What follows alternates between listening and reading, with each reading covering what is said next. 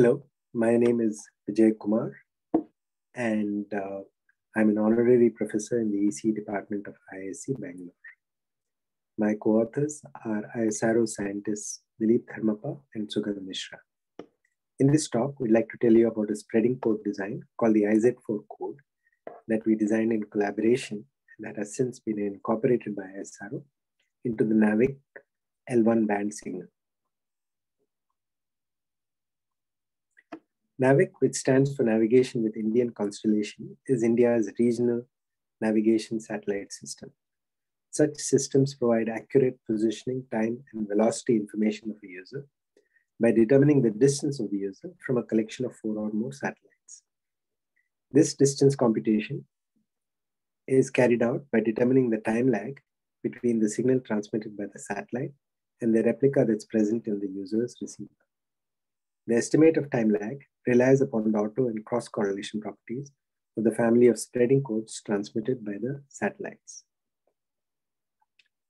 Before proceeding further, we'd like to acknowledge that this research could not have been carried out without the support and encouragement of distinguished scientists and senior administration within ISRO, senior faculty at IISc, and senior staff within IISc's IPTEL.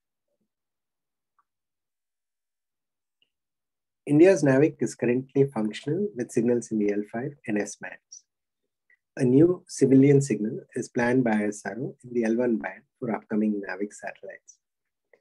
And as mentioned earlier, we will present in this talk a new design called the IZ4 design.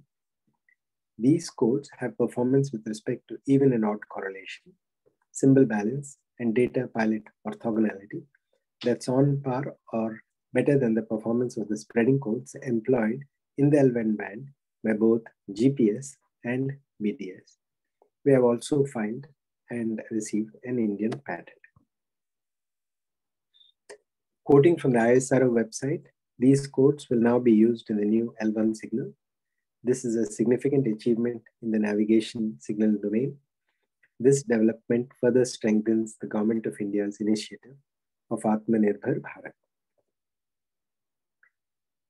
the spreading codes required in the L1 band need to have a period 10,230, a period that's dictated by the frequency of an onboard atomic clock. This is a major challenge because no known sequence families can directly generate sequences having this period. GPS and BDS employ Weil sequences that have period that's an odd prime P. They then pick primes that come close to 10,230 and then either pad or truncate. However, either padding or truncation degrades even correlation properties. We adopt a different approach. We factor 10,230 as 5 times 2046, and we interleave 5 Z4 linear sequences of period 2046 to achieve the overall period.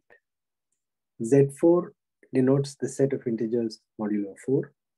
Z4 linear sequences are binary sequences that are obtained by applying a simple nonlinear map to a family of quaternary shift register sequences. This table compares the performance of the IZ4 design with those of GPS and BDS. The first four rows show correlation properties. The last two are symbol balance and pilot data orthogonality. In terms of balance and orthogonality, the designs are comparable. Correlation results are presented in the first four rows are in dB, and the lower the number, the better. As can be seen, the IZ4 uh, design performs very favorably in comparison with the designs of GPS and BDS, particularly with respect to the maximum even cross-correlation side lobe. Even correlation properties uh, follow from the nature of the algebraic design. Further optimization is needed, however, to improve odd correlation properties, achieve symbol balance, and achieve pilot signal data signal orthogonality. And this table shows the result of that effort. The IZ4 design can be generated using a pair of coupled 55-bit shift registers, along with a third 5-bit shift register that's needed to carry out a vital flip operation. As mentioned earlier, we have filed for and been granted an Indian patent. And with that, I'd like to close the presentation and uh, thank you all for listening.